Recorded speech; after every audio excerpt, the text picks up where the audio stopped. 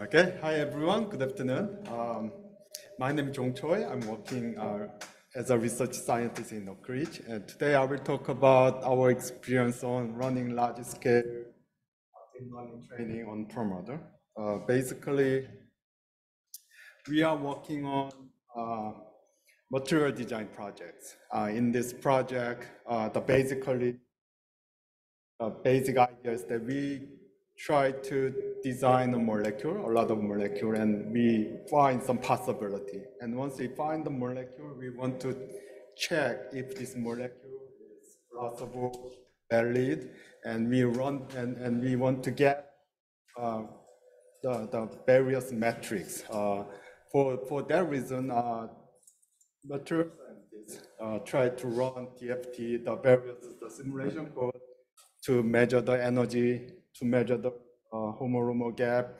So, so each molecule in through this simulation takes about 100,000 seconds. That's not, uh, that's kind of doable thing. The problem is, challenge is we have to run through a lot of molecules to check this kind of the task. Uh, literally thousands of molecules. So that's too, too demanding. So idea of using the deep learning is that we want to develop the surrogate surrogate model, which can replace, can do some uh, similar prediction, similar measurement uh, of the FTB, uh, the, the simulation can do. So, so that's why we want to develop a surrogate model by using deep learning framework, which the, uh, the especially graph neural network training. Uh, basically, the molecule itself we can represent it as a graph, and GNN shows very uh, promising results. So we develop a graph neural network deep learning framework for, for uh, this kind of molec molecular design. And we named HydraGNN, that's the, that's the uh, graph neural network uh, training tool, but we, our focus is using uh, Summit, those kind of the high performance machines, because we will handle a lot of data we developed this HydraGNN. That's our kind of the first step. Now, then uh, we want to have this the surrogate model to be efficient and also to be accurate and should should be generalized enough to be used in various situations. To in order to this achieve this goal, we found we have to train the model by using a lot of molecules, literally 10 million molecules uh, and that's that's demanding. Now we found uh, found that now our problem is not computational uh, computational challenge.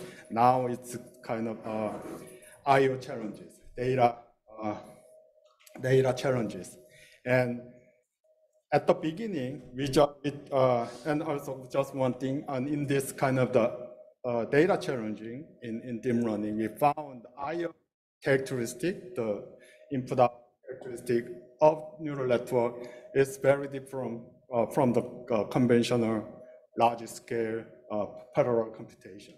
So in, in deep learning, that's very uh, read-oriented during the uh, uh, by performing the training, and also there are a lot of access and I/O access, frequent frequent data access.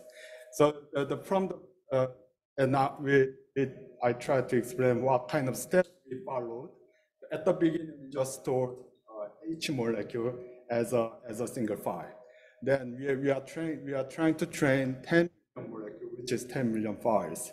And that's big stress, even, even uh, in this kind of the Perlmutter system, one of the largest performant system, 10 million uh, files in the file system, it, it, it, it's, it's, it's nightmare.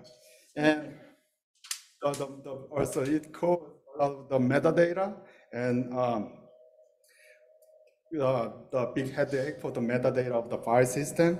So it was, it was a big mistake for us.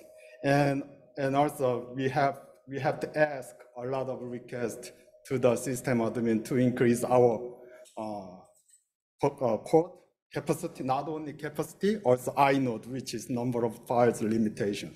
And uh, Luckily, the help desk was generous enough. They, they accepted our increase and we, we can save our data, but during the training, uh, it was, was, was a problem. Now someone asked, someone mentioned NVMe. Why, why, why don't you try using the NVMe or burst buffer?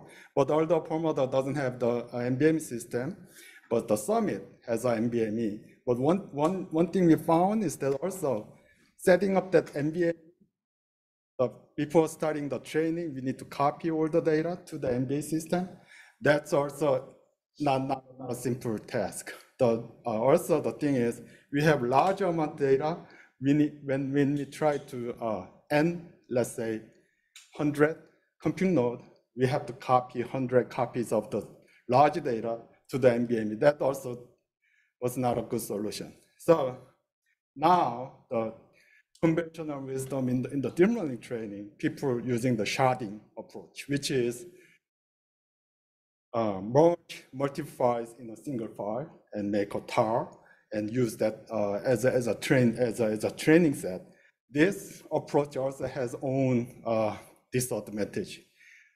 To, to, during the training, to make uh, to maximize our uh, quality, we have to uh, we have to maintain kind of random access. We have to be train our data uh, as uh, the by by by randomly selecting the, the training set so that we want to improve the generability, we want to maintain the generability of the training.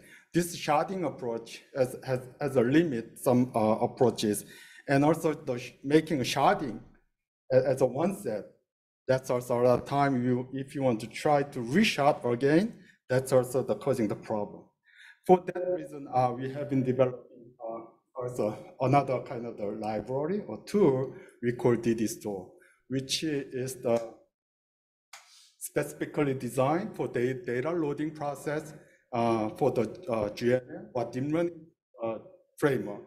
The basically idea is that uh, we read data and we, we, we distribute our data uh, every compute node and we store data into the memory. And during the training, if you want to access some specific data, although it's, a, it's, a, it's uh, stored in a remote process, we want to grab that data uh, from, the from the remote memory. This technology is known as one-side communication or memory-to-memory -memory access. So DDStore uh, is, is, is, kind of the supporting these kind of the approaches. And so as you can see, we tried a few data set, and the one of the biggest data set actually, uh, 10 million molecule, 1.6 terabyte. We cannot save this full data set in a single machine. Uh, so one of our colleagues already uh, generate this data set and published it in the Nature journal. And this data set uh, what, what was the biggest data set we, we tried. And so, so we tested this and DDStore on multiple supercomputer machines, including Summit and Perlmutter. And good news is that using this, this approach, we can maintain the linear scaling up to 1,000 GPU, uh, up to 1,000 GPUs on both Perlmutter and Summit machine. And also uh, compared to other data loading technologies by using file and, and we maintain uh, we maintain the best performance as well as the less variability, especially the deep learning training, synchronization, and uh, everyone try to do the same computation, but straggler, one single straggler can handle, uh, can uh, hurt the performance. So, but the DDStore, which is the memory-based approach, not using the file system, maintains uh, low